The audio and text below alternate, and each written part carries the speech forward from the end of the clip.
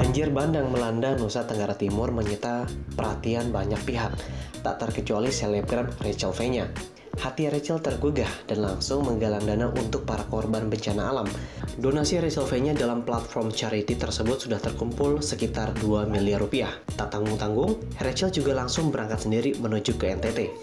Rachel berangkat menuju NTT bersama selebgram Keanu, Jovia Dalopes, Andovi Dalopes, dan Fadil Jaidi. Tak hanya itu, ada juga tim Kemensos Menteri Sosial Risma. Unggahan ini menyita perhatian dan banyak yang menyampaikan simpati pada Rachel V-nya.